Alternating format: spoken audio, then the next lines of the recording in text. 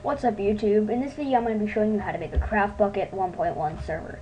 So first of all you're going to need to go to www.bukkit.org Then Bukkit Forums. Then it's going to take you to this page. This it says Bukkit on it and a bunch of stuff.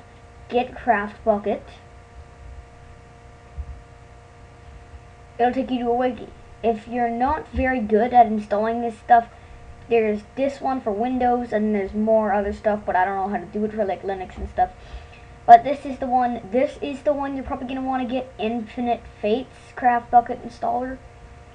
Giving a shout out to him for making this. Uh, I just gotta wait for it to okay, It's gonna take you to this page. You're gonna scroll down here to where it says global download. It'll take you to a new page, hotfile.com you guys are going to think this isn't very good. Wait, this isn't the download that I had the other day, but who cares. So, and then you're just going to have to wait for it to download, which is 8, 7, 6, 5, 4, 3, 2, 1.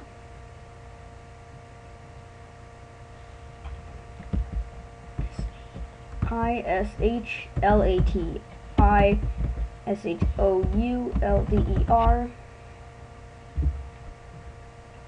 Wrong code. Please try again. What? Darn it.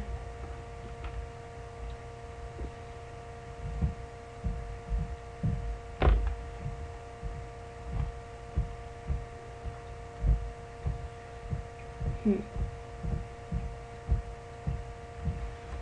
I N P O L. I C-O-R-R-E-S. I think that's right. Should be. Click here to download. When you're done that, this is probably, this might not be the website that you get it on, but if you get it on Firefox, it'll say save file, save the file. And of course, it's going to be like this because the plugin's there because I already have plugins. I'm just going to wait for it to download.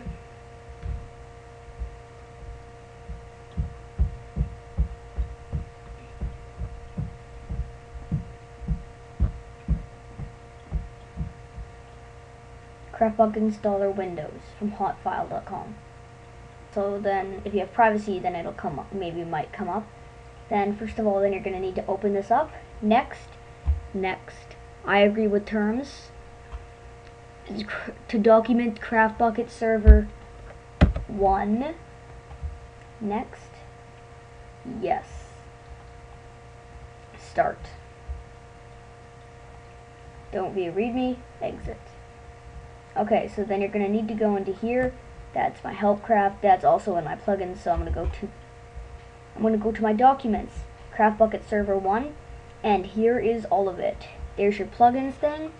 In here you'd put your plugins, band IPs, there's the Bukkit icon, CraftBukkit Starter is what you need to start it, permissions, server, I use a certain program to use it, there's uninstall, whitelist, server, readme, permissions, ops, CraftBukkit, CraftBukkit Starter, Bukkit Bucket, and a bunch of other stuff.